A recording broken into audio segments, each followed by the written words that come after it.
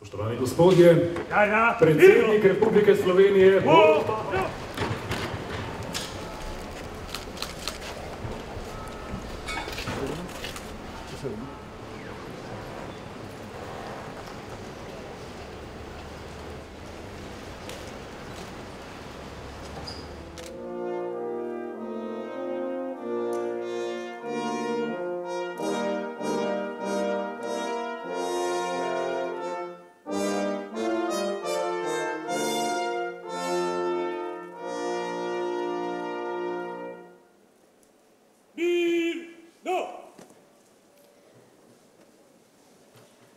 Predsednik Republike Slovenije Borut Pahor je izdal ukaz o podelitvi odlikovanja Republike Slovenije.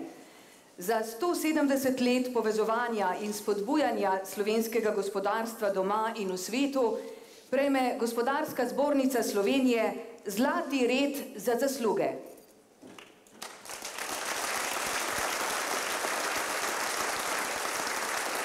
Oh, no.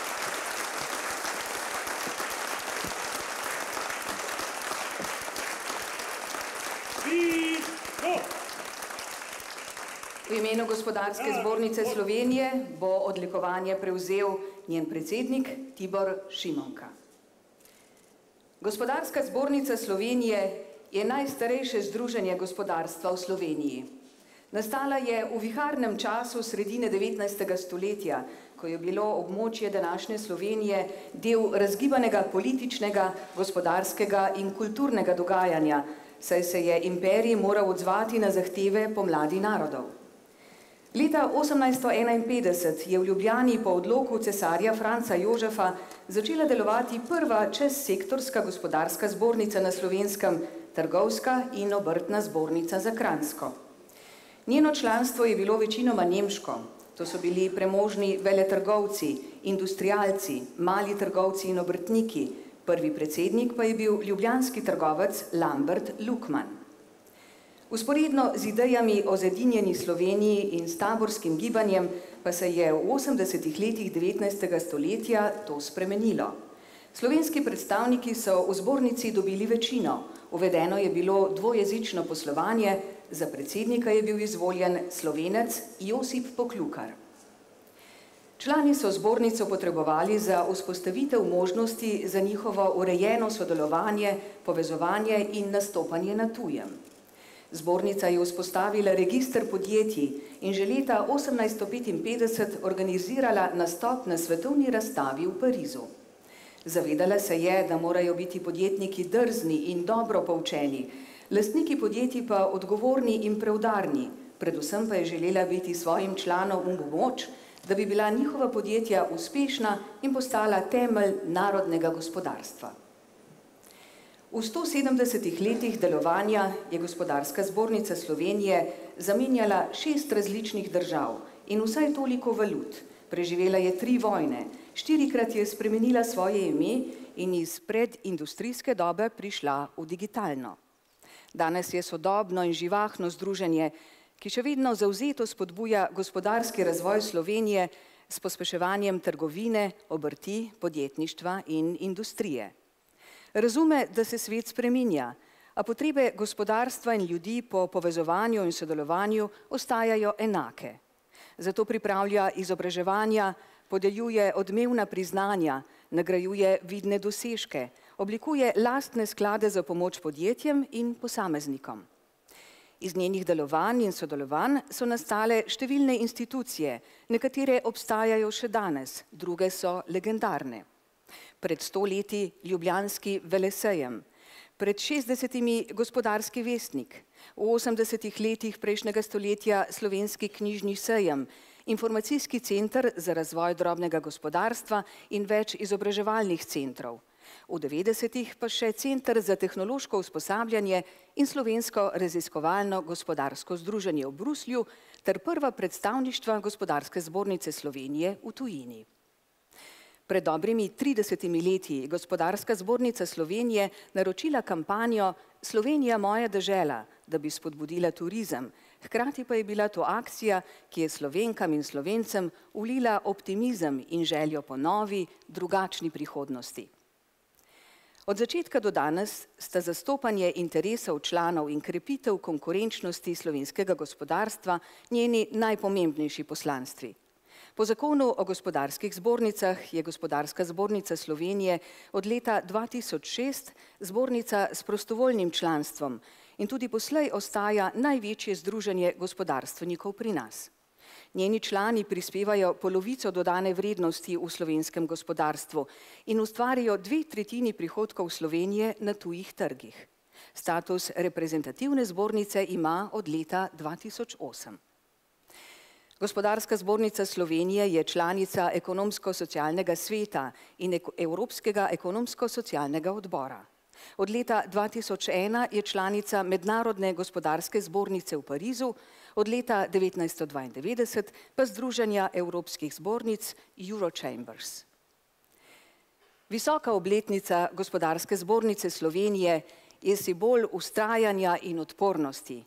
Je dokaz trdoživosti in podjetnosti slovenskega človeka, moči, ki jo ima povezovanje in je zgodovinski prispevek slovenskega gospodarstva k utemeljevanju narodne zavesti in identitete ter vzpostavitvi slovenske državnosti.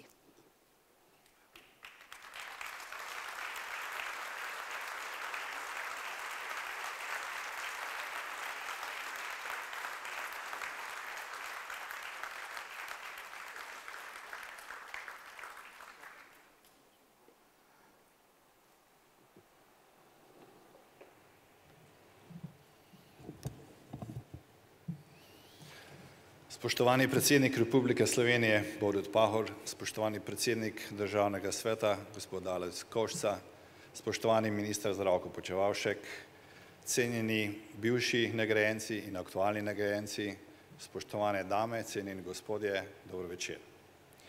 Izjemno čast mi je, da lahko danes v imenu Gospodarske zbornice Slovenije, vseh njenih zaposlenih, podjetij, naših članov, pa tudi v svojem imenu z rok predsednika republike Borta Pahorja sprejemam posebno državno odlikovanje Zlati red za zasluge.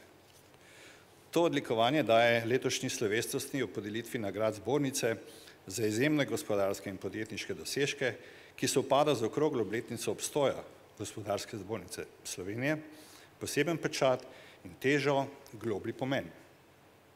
Je nekaj neprecenljivega, kar nas navdaja z izrednim ponosom, pa tudi z veseljem s ponosom nad dosežki zbornice v 170 letih njenega delovanja, z veseljem in zadovoljstvom, da smo bili prepoznani kot pomemben člen slovenskega gospodarstva in družbenega ustroja, ter z vedenjem, da so naše usmeritve prave, aktivnosti koristne za dobrobit slovenskega gospodarstva in s tem države kot celote. Stališča slišana, pa če tudi niso vselej nagrajena z uspehom. Pomembno pa je, da se vsi deležniki poslušamo, slišimo, spoštujemo, dogovarjamo in znamo najti kompromise, dobrobit vseh državljanov in državljank.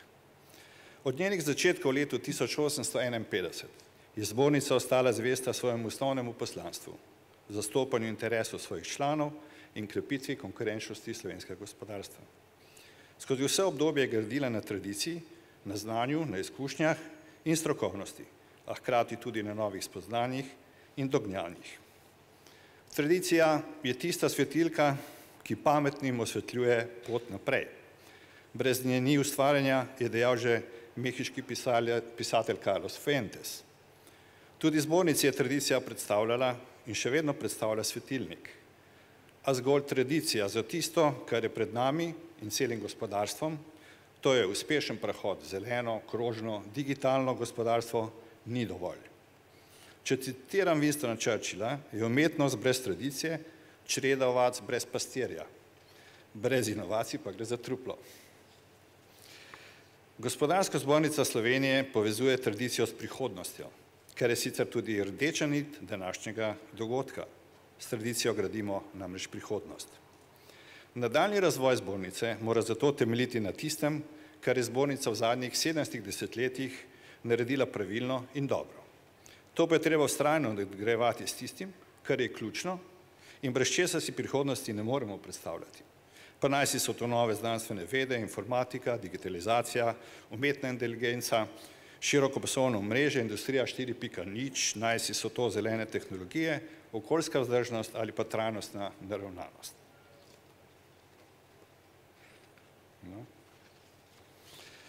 Ob tem pa nas bo vse skozi, spoštovani predsednik, s ponosom spremljalo tudi danes prijeto odlikovanje. A danes ne slavi le gospodarska zbornica Slovenije, temveč že 53-tič nagrajujemo tudi najboljše v gospodarstvu. Letošnji prejemniki najstarejših in najprestižnejših gospodarskih nagrad, tako imenovanih gospodarskih oskarjev, ki jih boste spoznali v nadaljevanju, so s svojimi odličnimi rezultati lahko zgled vsem, ki išče najboljše poti k uspehu. Zavedajo se pomena tradicije, hkrati pa vedo, da lahko le z inovativnimi rešitvami, stalno razvojno naravnanostjo ter družbeno in okoljsko odgovornostjo dosegajo prave rezultate. Druži jih želja po doseganju poslovne odličnosti.